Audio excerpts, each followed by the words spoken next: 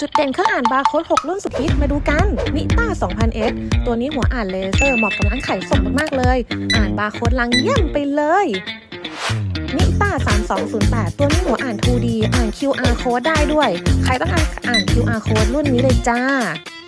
นิต้า 2000R ตัวนี้เป็นแบบไร้สาย เชื่อมต่อบลูทูธกับมือถือก็ได้ ยิงกับคอมก็ได้ อ่านบาร์โค้ดแบบแท่งเยี่ยมไปเลย ตัวนี้ดีสุดๆนิต้า i813 ตัวนี้ก็เป็นแบบไร้สายยิงเข้าคอมได้เท่านั้นนะ อ่านบาร์โค้ด QR code สบายๆจ้า